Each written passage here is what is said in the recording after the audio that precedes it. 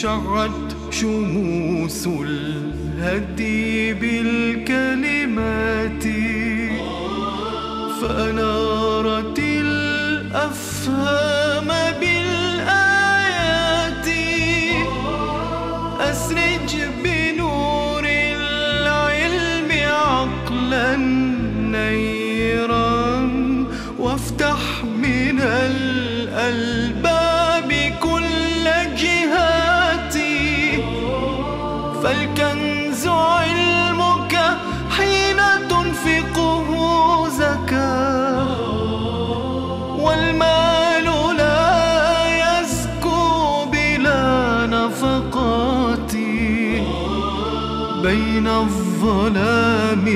وبين نور مشرق. هدي ينير الدرب بالومضات. بسم الله الرحمن الرحيم. الحمد لله رب العالمين. الصلاة والسلام على محمد وآله الطيبين الطاهرين.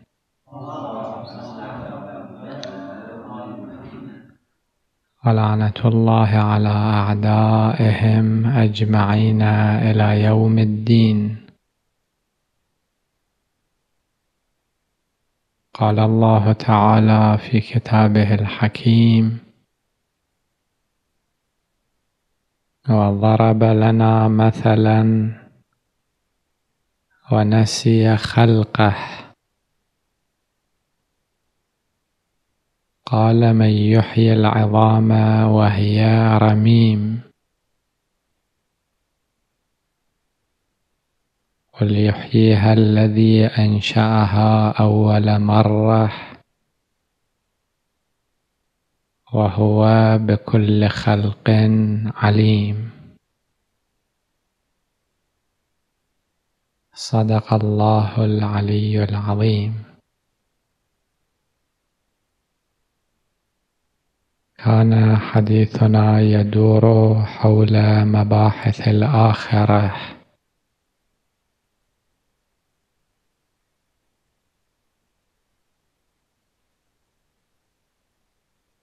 إحدى المسائل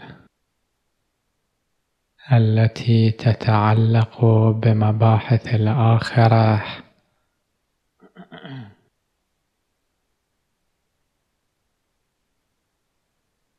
هي أن المعاد في يوم القيامة هل هو معاد روحاني أو معاد جسماني.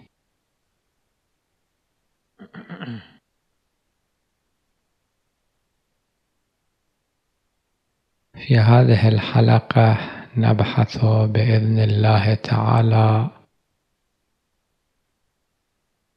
هذه القضية على ضوء النصوص الدينية.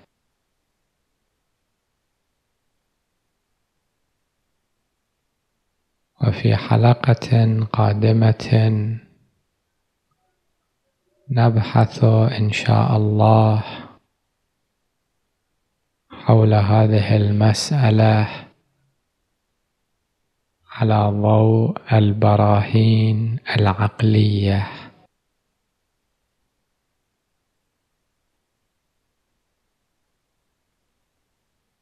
لتنقيح موضوع هذه المسألة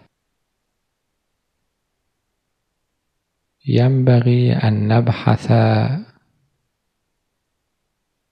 في مقامين.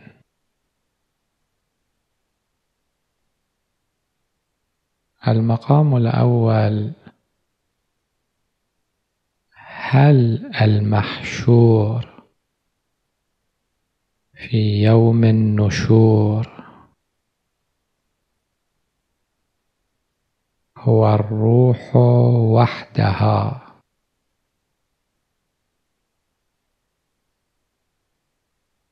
أو هذا البدن. كما يقول مجموعة من الفلاسفة هؤلاء يعتقدون بأن الذي يحشر في يوم القيامة الروح وحدها. أما هذا البدن الذي صحبنا في هذه الدنيا فسوف تتخلى عنه الروح في عالم الآخرة. ويتحول هذا البدن إلى رميم وإلى تراب. هذه العلاقة بين الروح والبدن علاقة مؤقتة. مثل أنتو تروحون إلى مدينة تسكنون في فندق ما عندكم علاقة دائمة بهذا المكان. تسكنون أياما ثم تفارقون ذلك المكان لعله إلى غير رجعة. هكذا يعتقد جملة. من الفلاسفة.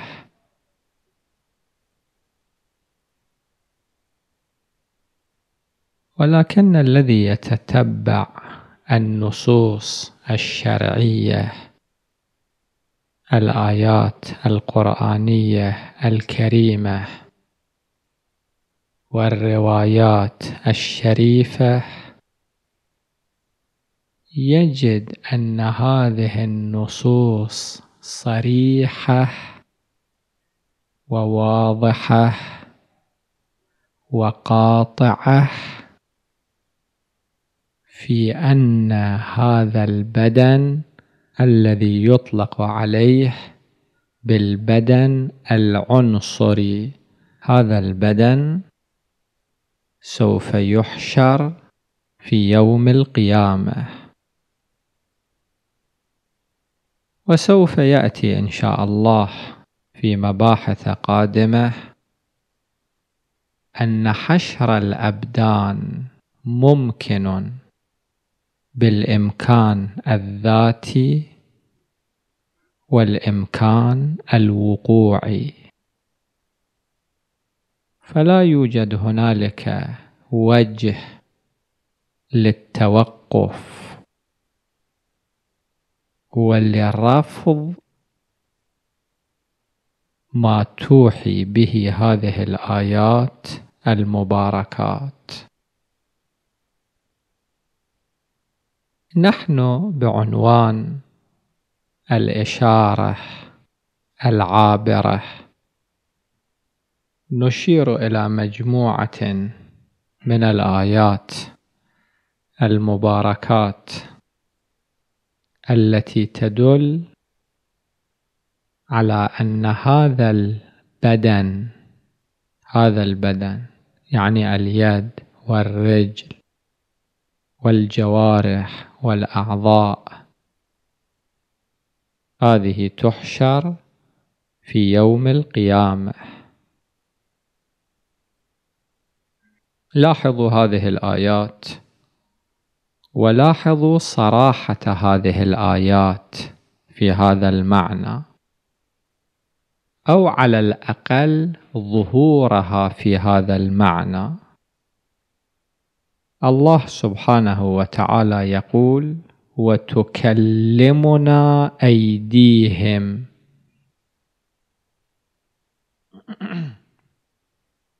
وتشهد أرجلهم بما كانوا يكسبون.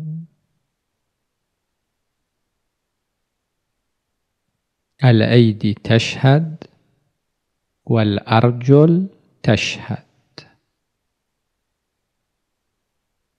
في آية أخرى الله تعالى يقول كلما نضجت جلودهم الروح ما إلها جلد.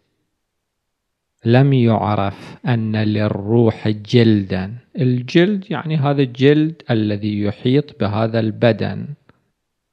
كلما نضجت جلودهم أهل جهنم بدلناهم جلودا غيرها ليذوقوا العذاب. في آية أخرى الله تعالى يقول حول أهل جهنم أعاذنا الله جميعا منها. وسقوا ماء حميما فقطع أمعاءهم.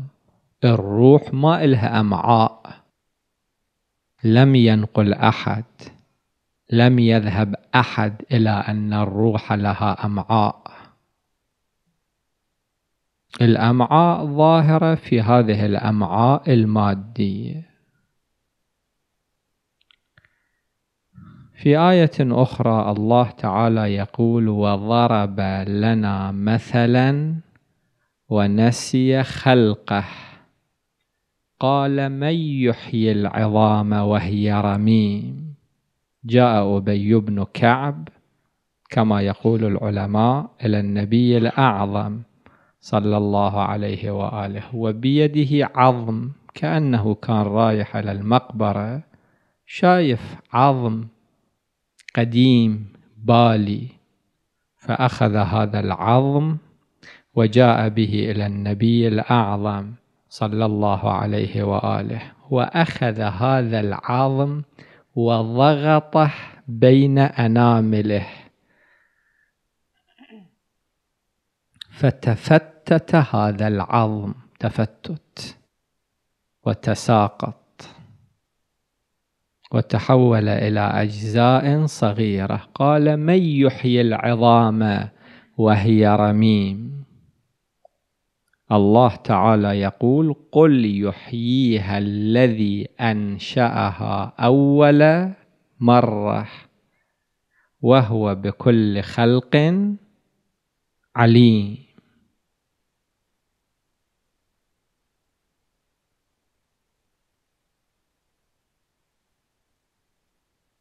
هذه الآية واضحة في أن المعاد يتعلق بهذا البدن أيضا. الله تعالى في آية أخرى يقول وإذ قال إبراهيم رب أرني كيف تحيي الموتى قال أولم تؤمن؟ قال بلى. ولكن ليطمئن قلبي. قال فخذ أربعة من الطير فصرهن إليك. ثم اجعل على كل جبل منهن جزءا. ثم ادعهن يأتينك سعيا. واعلم أن الله عزيز حكيم. في آية أخرى الله تعالى يقول أو كالذي مر على قرية وهي خاوية على عروشها قال أنا يحيي هذه الله بعد موتها فأماته الله مئة عام ثم بعثه. قال كم لبثت؟ قال لبثت يوما أو بعض يوم. قال بل لبثت مائة عام. فانظر إلى طعامك وشرابك لم يتسنه وانظر إلى حمارك ولنجعلك آية للناس وانظر إلى العظام كيف ننشزها ثم نكسوها لحما. فلما تبين له قال أعلم أن الله على كل شيء قدير. هذه الآيات صريحة في أن المعاد لا يكون للروح فقط وإنما يكون للبدن أيضا. ولذلك الفخر الرازي وهو واحد من كبار علماء العامة يقول إنه لا يمكن الجمع بين الإيمان بما جاء به النبي الأعظم صلى الله عليه وآله وبين إنكار المعاد البدني. إذا واحد يؤمن إذا واحد مؤمن لابد أن يؤمن بالمعاد وعودة هذه الأبدان. أما إذا واحد أنكر المعاد الجسماني فهو في واقعه لم يؤمن بالقرآن الكريم ولم يؤمن بالروايات الشريفة.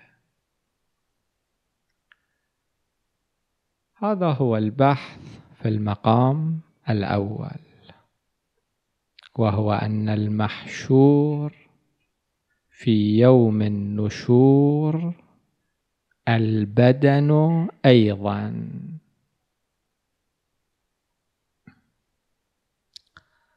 المقام الثاني الذي يتعلق بروحانية المعاد وجسمانيته.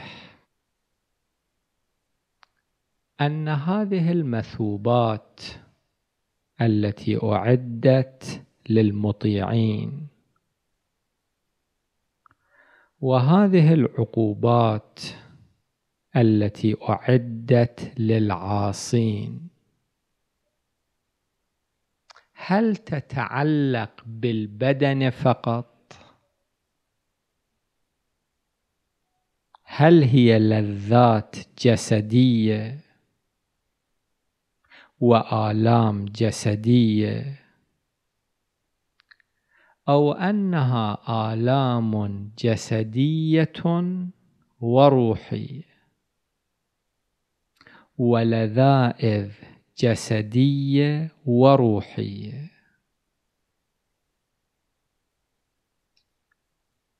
أنا اذكر مقدمه قصيره وهذه المقدمة هي أنه نحن عندنا قوى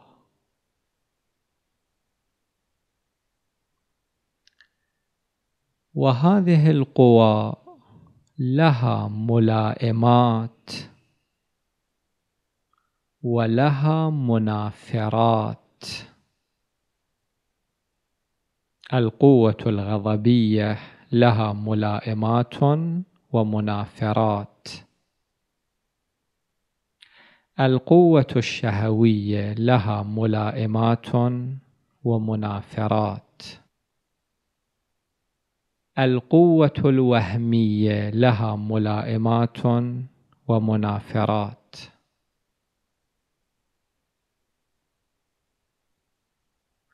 هذه الملائمات والمنافرات بنحو عام. يمكن أن نصنفها إلى مجموعتين.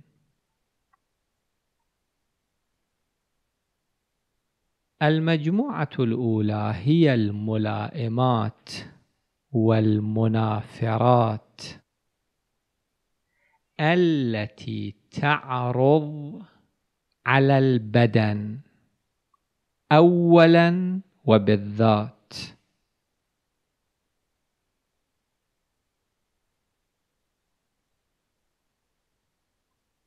هذه الملائمات والمنافرات تعرض الروح أيضا ولكن ثانيا وبالتبع. مثلا القوة اللامسة التي أودعها الله سبحانه وتعالى في البدن. يلائمها لمس الحرير. أنتم عندما تخلون إيدكم على الحرير أو تلبسون ثوبا من حرير. طبعا الحرير كما تعلمون محرم على الرجال الحرير المحض. الحرير للرجال في الجنة إن شاء الله. عندما تضعون يدكم على ثوب من حرير ملمس الحرير يلائم القوة اللامسة؟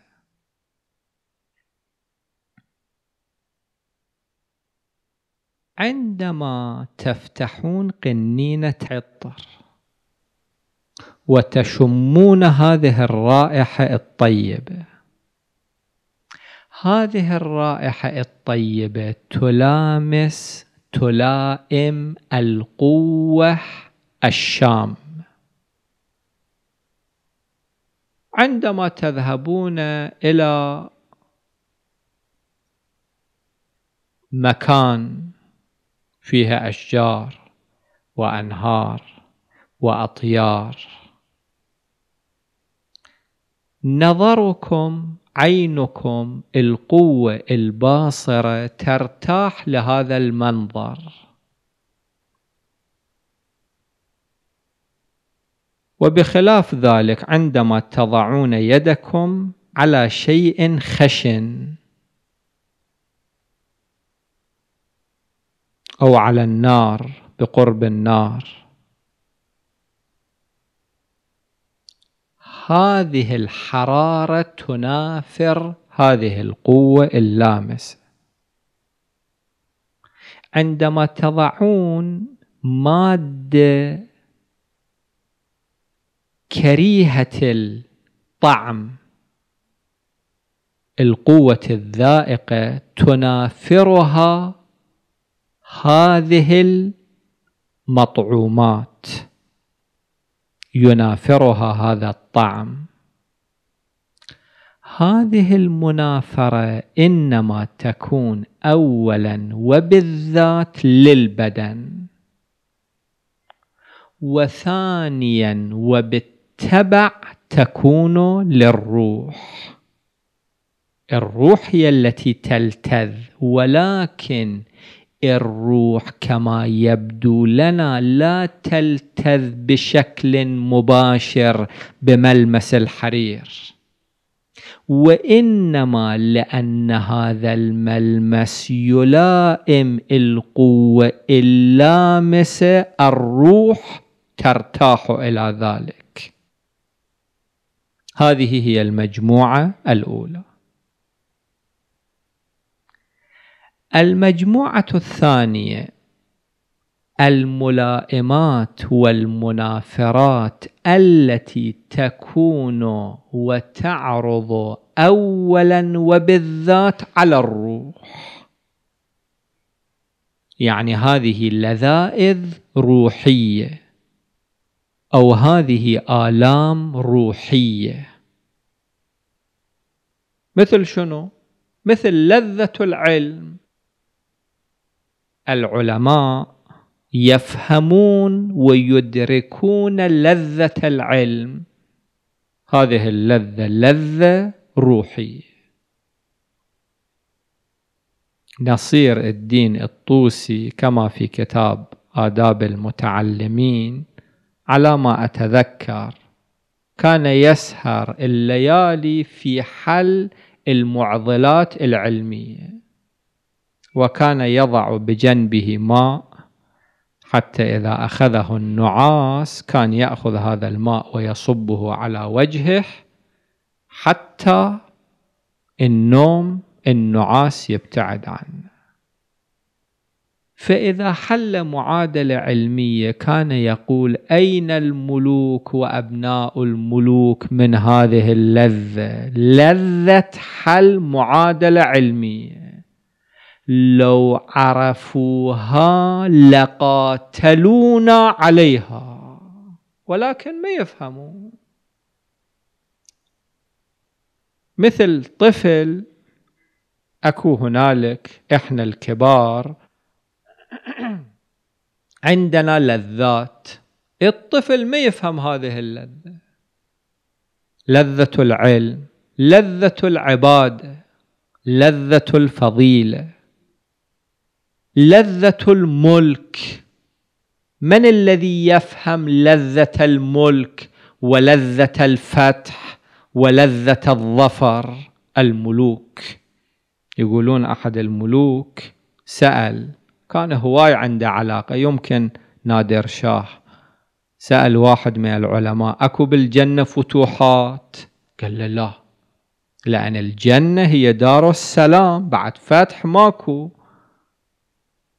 قال هاي الجنة اللي ما بيها فتوحات ما تفيدني. أنا ما أريد هاي الجنة. طبعا كلامه خطأ لأنه واحد في الجنة مداركه ترتقي بعد لا يريد الفتوحات حتى يكون هذا حرمان. هذا هو النوع الثاني. في هذه الدنيا لاحظوا هذه النقطة. عادة اللي يروح في الخط الأول مجموعة الملائمات والمنافرات التي تعرض البدن اولا وبالذات. اللي يروح في هذا الخط يحرم من الخط الثاني. واللي يروح في الخط الثاني عادة يتعالى على الخط الأول أو يحرم من الخط الأول. يعني هذا اللي مشغول بقواه الشهوية كما يقول أمير المؤمنين صلوات الله عليه في وصف الثالث بين نثيله ومعتلفه. كثير من الناس ينطبق عليهم هذا الوصف بين النثيل والمعتلف هذا بعد ما يفتهم لذة العلم. هذه فكرة بالأكل. اللي يروح في خط المال هذا فكرة وذكرى هو المال. وحتى إذا في عالم الرؤيا يشوف طيف يشوف طيف معاملة تجارية صفقة تجارية يربح فيها أو يخسر فيها. هذا بعد عادة ما يروح في خط كثير يعني ما أقول الكل. بعد ما يروح في خط العلم في خط العبادة الجانب الآخر اللي يروح في خط المجموعة الثانية. خط اللذات الروحية. بعد هذا يحتقر اللذات المادية. العالم يحتقر المال. المال ما له قيمة عنده. في كثير من الأحيان.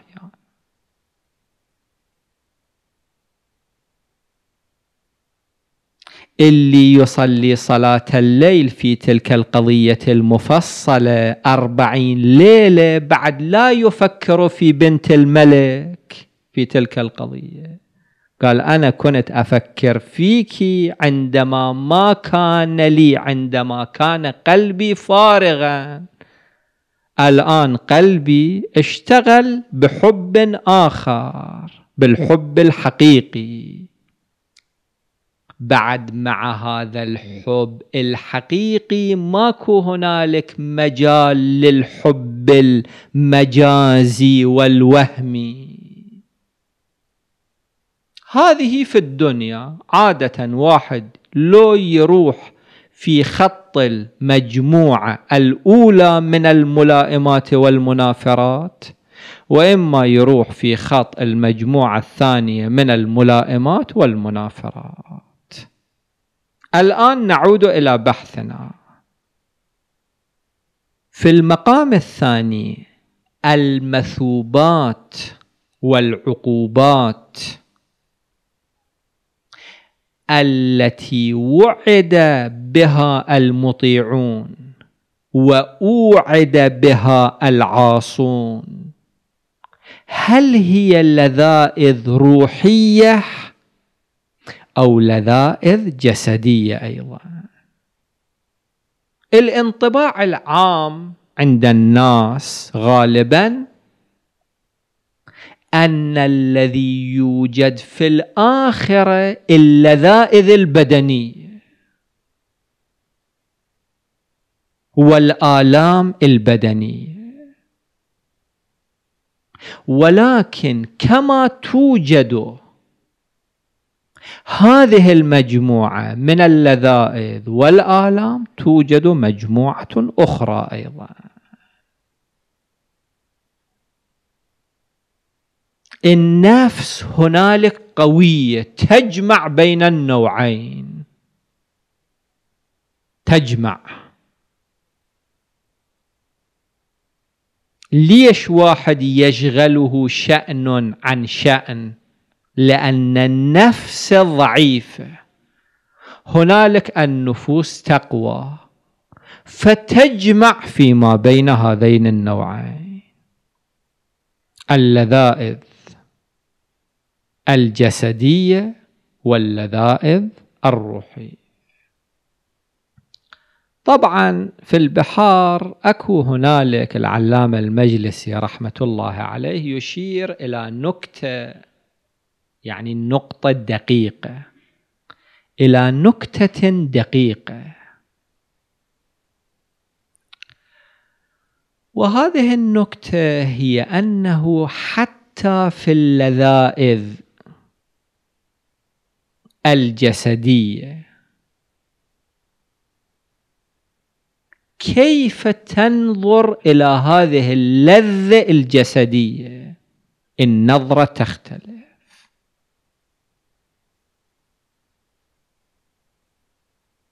يمثل بمثال إحنا نذكر نظير لذلك المثال. إذا أكو مرجع من مراجع التقليد الكبار الذين تعتقدون بهم وتجلونهم أو واحد من أولياء الله الكبار. واحد من المعصومين صلوات الله عليه حظيت بلقاء الإمام الحجة عجل الله تعالى فرجه فقدم لكم ماء. هذا طبعا أنا أغير مثال العلامة المجلسي رحمة الله عليه إلى هذا المثال لكن روح كلامه محفوظة وأكو هنالك طفل صغير عمره عاميا الإمام الحجة عجل الله تعالى فرجه قدم إليه الماء وسقاه الماء. الطفل ينظر إلى الماء ولا ينظر إلى اليد التي قدمت له هذا الماء. ما عنده فرق لما يفهم مدارك قاصرة يقدم له هذا الماء رجل عادي في الشارع أو يقدمه له ولي من أولياء الله. ينظر إلى الماء كماء لأنه لا يفهم.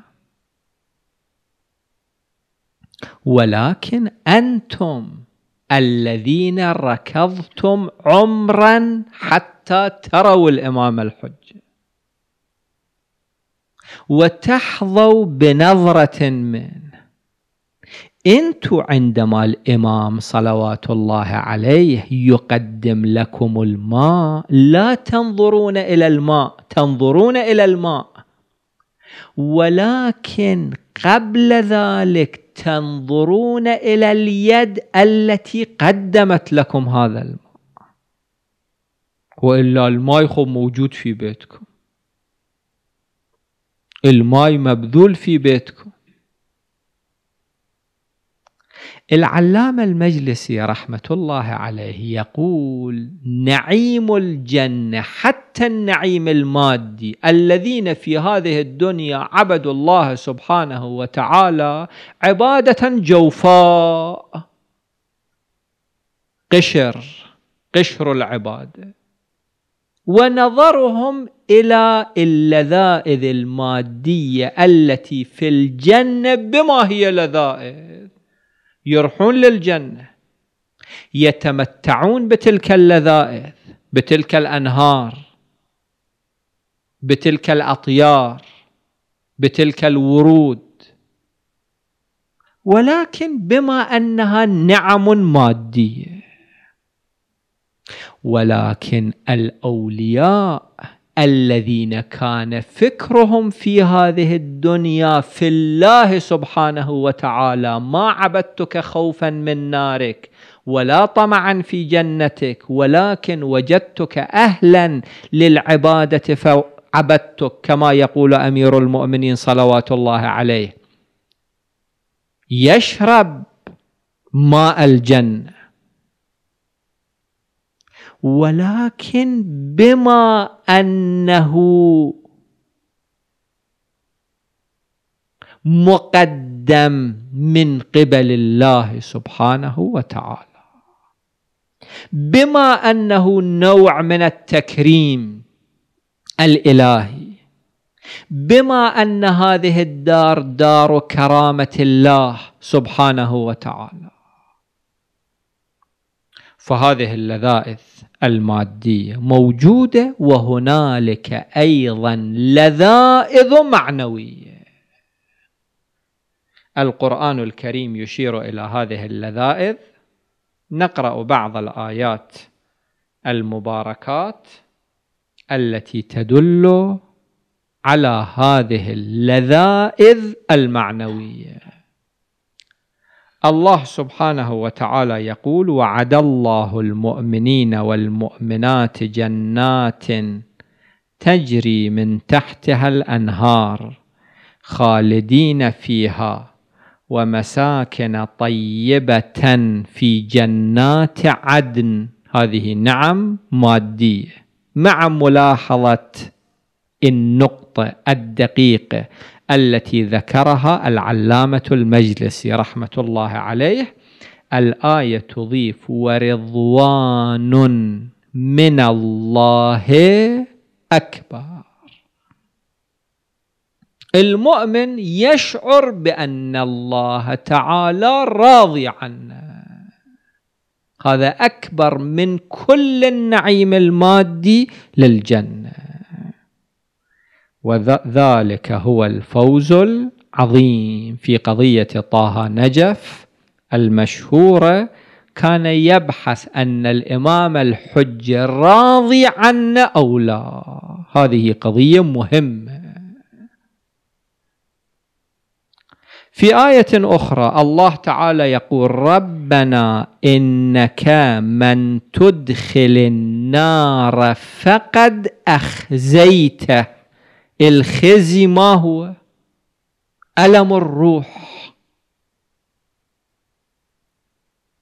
واحد والعياذ بالله تنشر صورته في الملأ العام. في قضية ما أريد أشير إلى خصوصياتها أن جماعة كانوا قاعدين في مكان فجاء شخص مظهرا أنه فقير. فأخذوا يتكلمون بكلمات غير ملائمة ويقومون بحركات غير ملائمة. وإذا في اليوم القادم مثلا يرون أن صورهم عرضت على التلفزيون كانت الكاميرا الخفية هذه. وهذا الفقير كان تصنع ما أذكر تفاصيل القضية. واحد والعياذ بالله وإذا يشوف صورته نشرت في الجريدة كمجرم من المجرمين أو في القنوات الفضائية وهو يرتكب عملا منافيا للأدب. هذا الألم الروحي الذي يشعر به. أي ألم هذا ألم روحي. مو ألم بدني. في آية أخرى الله تعالى يقول لاحظوا الألم الروحي في جهنم إذ تبرأ الذين اتبعوا من الذين اتبعوا. صدام يجي في جهنم أتباع منه كم واحد جرهم إلى جهنم؟ كم ألف واحد؟ يتبرأ منه. واحد يورط الإنسان بعدين يتبرأ منه. واحد جر الإنسان إلى السجن بالسجن يجتمعون يتبرأ منه. هذا أي ألم من الآلام الروحية؟ إذ تبرأ الذين اتبعوا من الذين اتبعوا.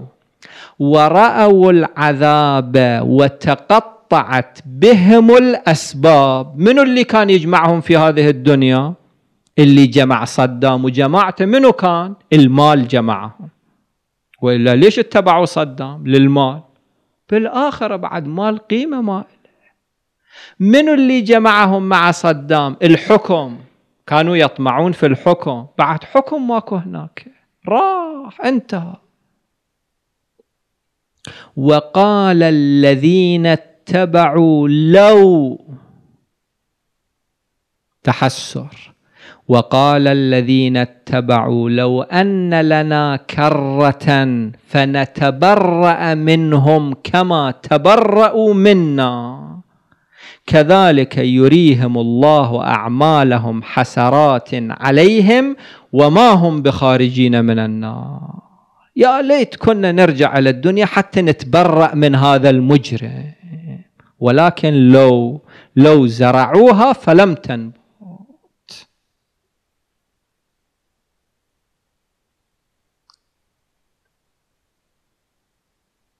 في دعاء كميل حقيقة دعاء كميل من مفاخرنا نحن أتباع أهل البيت. ابحثوا العالم كله لن تجدوا كدعاء كميل خارج إطار مذهب أهل البيت. الإمام صلوات الله عليه لاحظوا هذه العبارات يقول فلئن صيرتني للعقوبات مع أعدائك. واحد في نار جهنم يحشر مع صدام والعياذ بالله. هذا أكبر عقوبة. يقولون فد عالم خلوه في سجن جدا مؤذي حكيم عالم حكيم. مع فد واحد جاهل أمي لا يفقه شيئا. بعد فترة إجوا وقالوا له من ما تعاني؟ قال أنا أي شيء ما أعاني منه. كل ما في السجن أنا أتحمله. ولكن العيش مع هذا الجاهل الأمي أنا ما أتحمله. قاتل. ما أدري أنتم عايشين في يوم من الأيام ويا واحد جاهل أمي لا يفقه شيئا. هذا أكبر عقوبة. واحد يكون في النار والعياذ بالله مع فرعون مع ابن ملجم مع المجرمين. هؤلاء الذين يسجنونهم في السجون أحيانا بعض الناس المحترمين تعذيبا لهم يسجنوهم الطغاة المجرمون. يسجنون هؤلاء الأفراد المحترمين مع السفاكين والقتله والمدمني المواد المخدرة ورجال الشوارع. هذا أكبر تعذيب لهم يقول عذبوني تعذيب بدني ولا تخلوني ويا هؤلاء. فلئن صيرتني للعقوبات مع أعدائك وجمعت بيني وبين أهل بلائك المجرمين العتاة الفسقه الفجره المنحطين وفرقت بيني وبين أحبائك وأوليائك. بعد هناك في جهنم بعد واحد ما يشوف النبي الأعظم صلى الله عليه وآله ما يشوف أمير المؤمنين ما يشوف الإمام الحسين صلوات الله عليهم ما يشوف أولياء الله سبحانه وتعالى. إحنا أملنا هذا يوم القيامة أن نكون مع النبي مع الأئمة مع الأولياء مع الشهداء مع الصلحاء. حتى الشاعر يقول أنه أنا أريد أن أموت حتى أرى علي بن أبي طالب في حالة الاحتضار. يقول أيها المرجى لقاه في الممات كل موت فيه لقياك حياة. هذا مو موت هذا حياة. ليت قد عجل لي ما هو آت. كي أرى منه حياتي في الردى فائزا منه باوفى الانعم قصيدة المعروفة. وفرقت بيني وبين أحبائك وأوليائك فهبني يا إلهي وسيدي ومولاي وربي صبرت على عذابك فكيف أصبر على فراقك؟ إذا واحد أبوه غضب عليه وألقاه في السجن يقول أنا أتحمل السجن ولكن ما أتحمل أنه أبي غاضب عليه وهبني صبرت على حر نارك فكيف أصبر عن النظر إلى كرامتك؟ ألم الفراق يعرفه من ابتلي به. آدم أبونا آدم على نبينا وآله وعليه الصلاة والسلام لماذا بكى؟ على ما أتذكر حتى خد الدمع في خده أخدودا لأنه يعرف معنى الجنة ويعرف معنى فراق الجنة. يعقوب لماذا بكى حتى ذهب بصره وابيضت عيناه؟ لأنه يعرف معنى فراق يوسف. يوسف لماذا بكى؟ حتى على ما أتذكر تأذى من بكائه أهل السجن. لأنه يعرف معنى فراق يعقوب.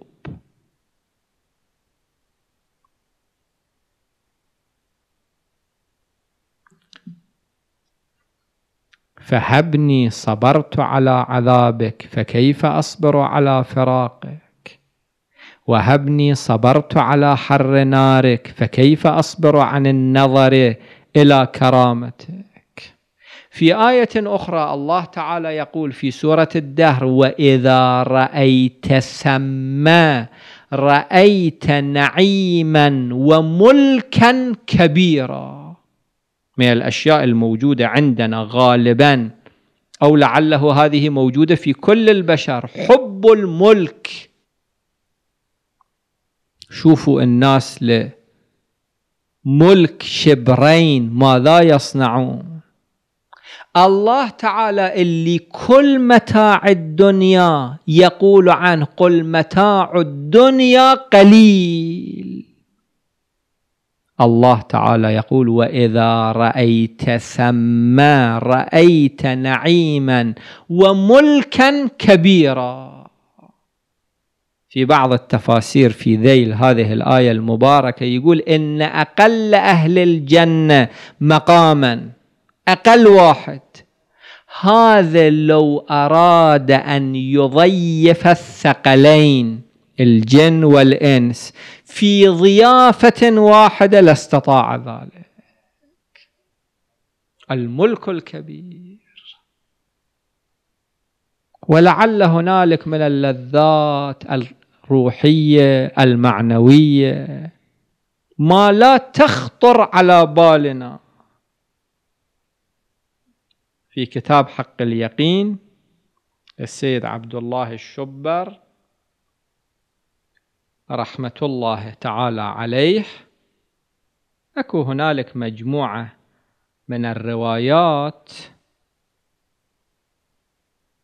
بعدين راجعوها أذكر منها رواية واحدة وفي رواية أخرى قال رجل يا رسول الله إني رجل حبب إلي الصوت لعل مراد الغناء.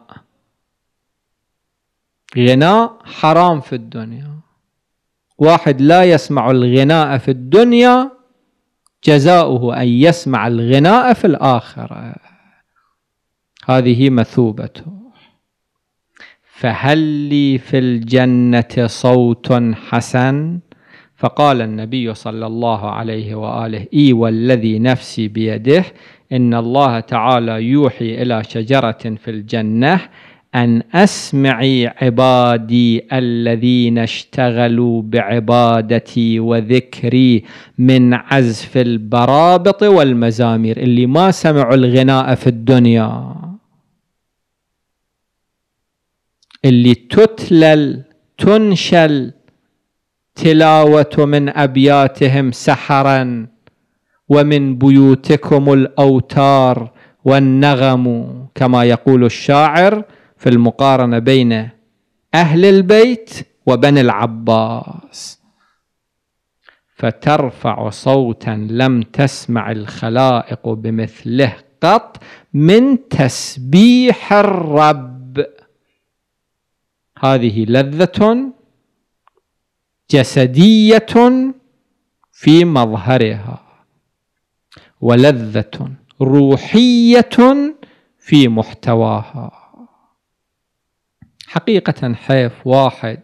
هذا النعيم الكبير وهذا الملك الكبير وهذا الرضوان من الله سبحانه وتعالى الذي هو أكبر يفوته ويضيعه لهذه اللذات الدنيوية الهابطة الزائلة.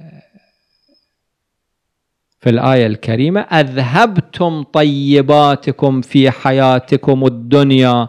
كل الطيبات لا يمكن للإنسان أن يستوفيها في هذه الدنيا. الغناء تستلذه السمع ولكنه محرم. إذا واحد استوفى كل اللذائذ في هذه الدنيا بعد هناك لا يبقى له شيء. قل هي الطيبات للذين آمنوا في الحياة الدنيا خالصة يوم القيامة. نسأل الله سبحانه وتعالى ألا يحرمنا من ذلك. وصلى الله على محمد وآله الطاهرين.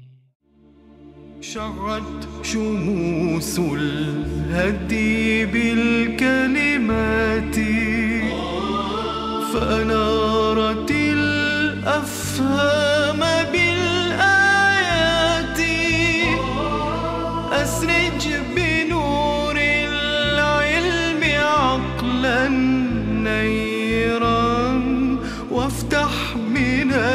الألباب كل جهاتي فالكنز علمك حين تنفقه زكاة والمال لا يزكو بلا نفقات. بين الظلام وبين نور